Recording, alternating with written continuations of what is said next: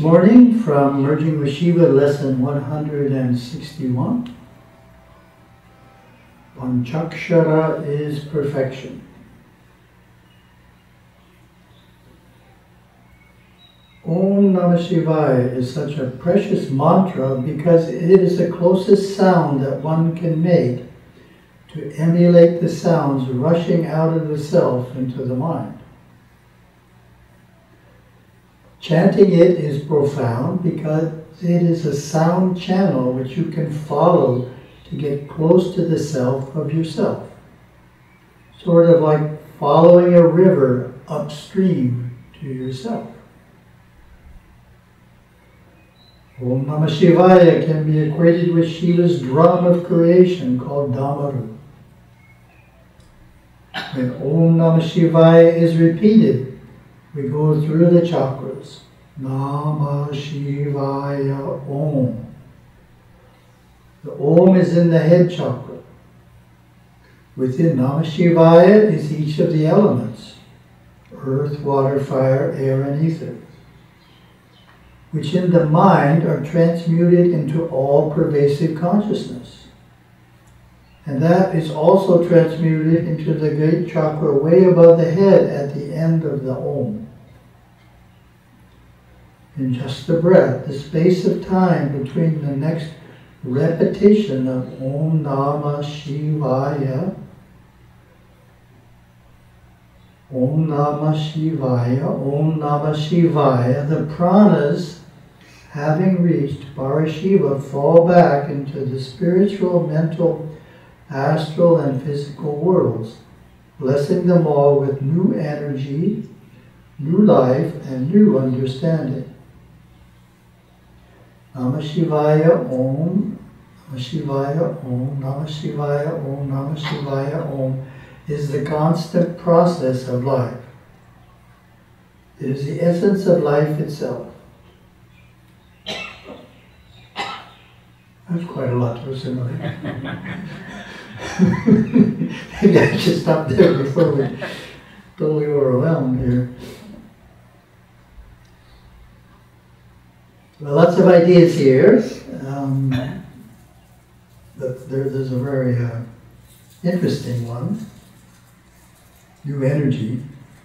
The pranas, having reached Parashiva, fall back into the spiritual, mental, astral, and physical worlds, blessing them all with new energy, new life, and new understanding.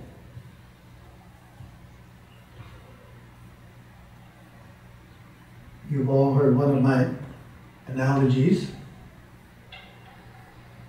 which is you take a shower, it's turned on, we have water coming out of it, you have the shower head, and then you make the shower head invisible.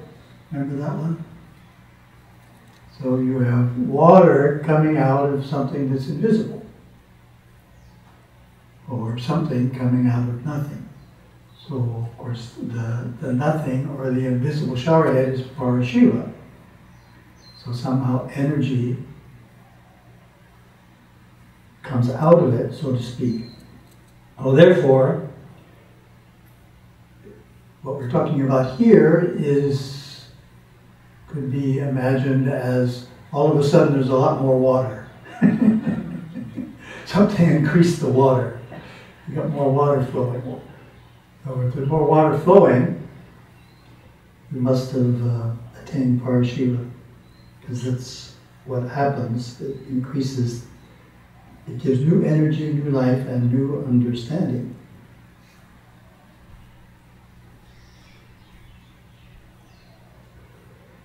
came up with a trick question to ask everyone. If you had a multiple choice question, how many chakras are there? 7, 14, or 21? Which one would you choose? In Gurudeva's teachings. 21. Hmm? 21? Well, yes, you choose all three. all of the above. So, in Gurudeva's writing, sometimes he talks about seven chakras. It sounds like there's only seven of them. And then sometimes he talks about 14, and you're sure there's only 14. And then once in a while he talks about 21, but not very often.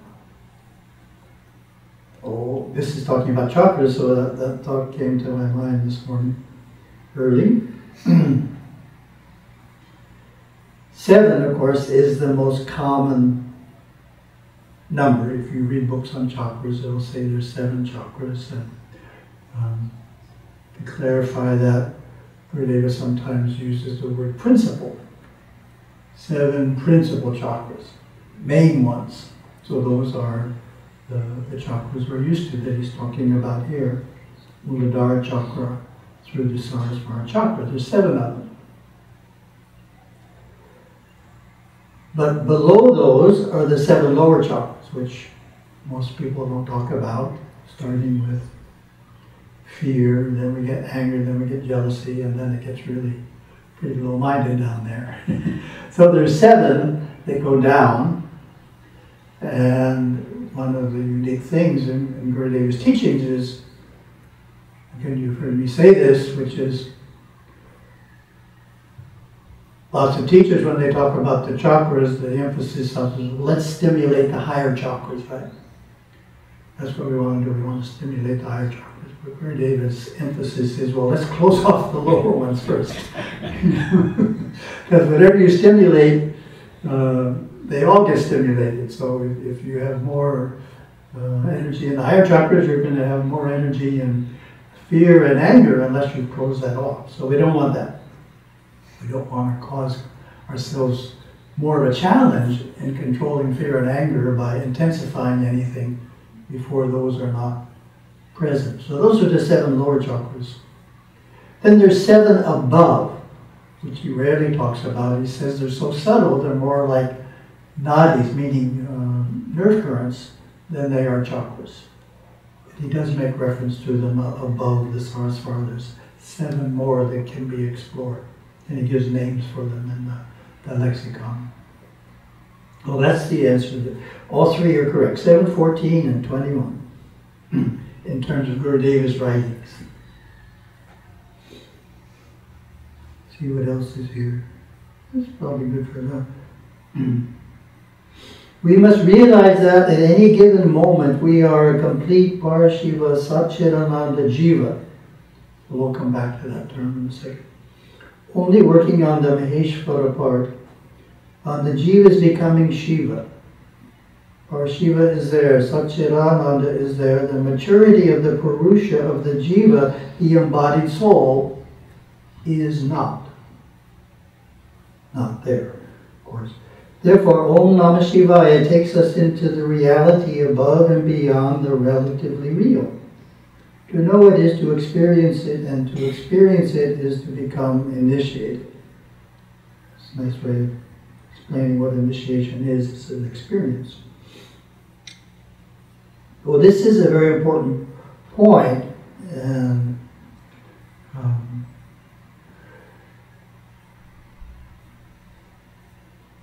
said simply, part of us is always identical with God. Nothing has to happen for that to be true. The divine within us is always there, and we call it the essence of the soul. In, in English, we say uh, pure consciousness and transcendent reality in English words. So there's two aspects of God, of Shiva, which are inherent in the nucleus of the soul. Or in that sense, Jiva is Shiva or Shivoham. It's always true. Nothing you do affects that fact. But the soul body is maturing. The soul body has a lot of work to put in to get itself up to uh, the vibration of Shiva's soul body. So when we look at the soul body, we're separate from Shiva. So we're both. And that's a very important point. And Said another way, we have an outer nature comprised of emotions and thinking and instincts. And that has nothing to do with Shiva, human nature. And then inside of us is a divine nature. So let's use that one human nature and divine nature. And it's a sliding scale. Zero to a hundred. At the zero point, we're only aware of our human nature. We're not at all aware, or we're not even acknowledging our divine nature. We don't think it exists. God doesn't exist. but we haven't even thought about the question. We're just so busy uh, experiencing the world. Haven't thought about it much. 100% that probably happens after you leave the physical body somewhere. 90 95% maybe is a great jnani. 95% of him is identified with his divine nature and just 5% with the human nature. Well, the whole spiritual path is the point we're trying to move up that's what spiritual progress is. That's what spiritual practice is for. We're trying to move. So we start zero and 100, 5 and 95, 10 and 90, so forth. We're moving up, becoming more and more identified with the divine nature and less and less identified with the human nature. That's the goal. So the human nature is imperfect. I, I even read it in, in Yoga the other day. It says everyone's imperfect, meaning the human nature. And sometimes the imperfection in it disturbs us because we think it should be perfect, but no, that's the wrong part of you. Divine nature is already perfect. Human nature always has certain problems. and to keep them under control. So you get a sense of what Gurudev is talking about. We're moving up in our division between human nature and our divine nature. I have been performing Om Namah Shivaya for over 50 years. First, it had no meaning other than wonderful, at last I got my mantra, and an assignment from my guru to perform japa regularly. As the japa progressed, all the inner worlds opened, all the doors of the mind all the spiritual forces were unleashed, and the ability to control them came naturally. You see, Namah Shivaya Om brings the totality of the individual to the forefront and makes it manifest in daily life. This most pragmatic mantra is found at the center of the Vedas and the hymn known as Sri Rudra. And Shiva is the center of Namah Shivaya. As the center of the Vedas, it blends Vedanta with Siddhanta.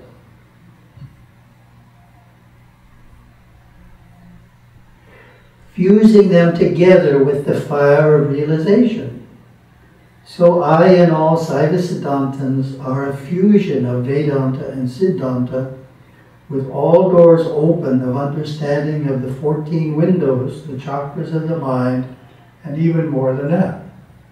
Fact, we're up to 14 now. Started with 7. so notice he says 14 windows, the chakras of the mind, and even more than that. So he's making reference to the other ones. Then he talks about importance of japa. But I wanted to comment on this one last idea here, the fusion of Vedanta and Siddhanta. We talked about that before, in this context, Vedanta means monism and Siddhanta means theism. Or Advaita and Advaita Vada and Ishvara Vada, Sanskrit. So we are Advaita Ishvara Vadas quite a mouthful. That's who we are? Because we believe in both. In other words, we give equal emphasis to both practices worship of the deity in the temple. That's our Siddhanta in this context. And meditation on the divine nature within, which is already one with Shiva. That's our monism, meditation. So we, we have temple worship for theism and meditation for monism, both practices. And we give most Vedantins don't give that much importance to Ishvara, to the personal deity. They're not, they're basically, you know, give token uh, appreciation or token acknowledgement of Ishvara. Their whole emphasis is on uh, the divinity within. They're not trying to uh, pay that much attention to devotion.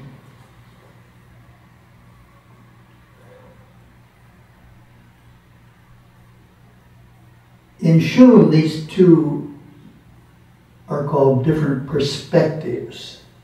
Remember the four perspectives, Shun Mulif, Mu leaf, Simnif, and Dipfi?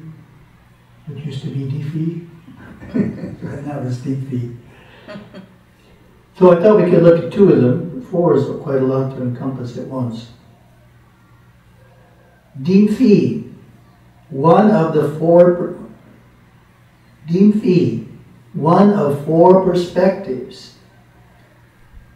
The metaphysical viewpoint of looking into inner and outer space.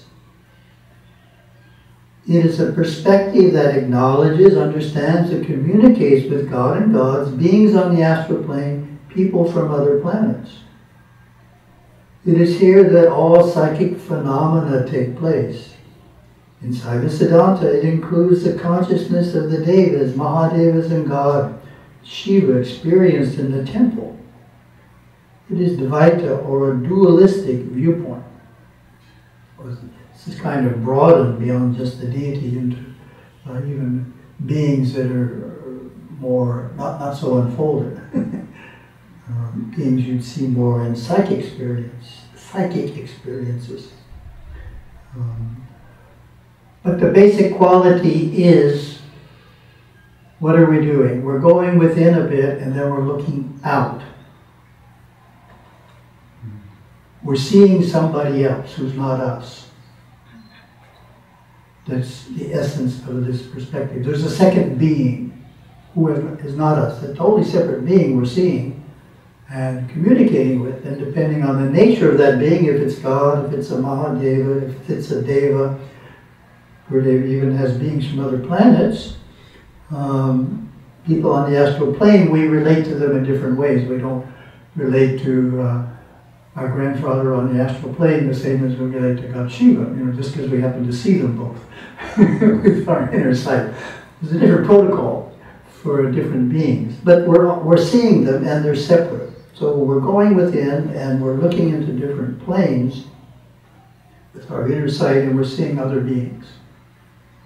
So in Dipfi, there's always two. It's dualistic, it says. It is Dvaita, or dualistic viewpoint. There's no monism at all. There's lots of people. Uh, one population count was 330 million. At that point in time, there may be more now. Upatu Mokodi Devanka. 330 million gods is what it says, but I think it just means 330 million residents in a certain loka. 33 crore. Shumif, one of four perspectives, a meditative viewpoint of being awareness flowing from one area of the inner mind to another. Mind itself being stationary the perspective of the Shum language. It is also simply called the Shum perspective. In Saiva Siddhanta, it includes the deeper meditative practices. It is an Advaitic or monistic viewpoint. in order for monism to work, you go in, you can't go out. If you go in and go out, you're in dualism. So you have to go in and stay within yourself. You don't use your psychic abilities, your spiritual eye to look out and see into realms. You're looking in. You're just going deeper within and within and within of yourself. So you have to stay within yourself, and then if you go deep enough, you find the essence of your soul. So you have to stay within yourself to find that. There's no other persons involved. It's just you. So these two perspectives are very different, and generally they aren't uh, combined in the same philosophy. They're being so different. People are usually just monists or theists. Most uh, are monists, and the theists, the biggest group of theists, are the Vaishnavas. They're so theistic, their description of Shiva is very simple. Um, this is ISKCON's description. I don't know the other traditions that well, but so Shiva's meditating, that's the classic pose. So in Vaishnavism, the only thing they could conceive of is Shiva must be meditating on Vishnu. They're so, you know, they're totally dualistic. they don't have the idea of just going in themselves. They can't, they're not thinking that Shiva's meditating on himself. I mean, why would he meditate on the second person? He's just going deeply within himself. Oh, it shows how inherently theistic they are in their thinking. Oh, thank you very much. Have a wonderful day.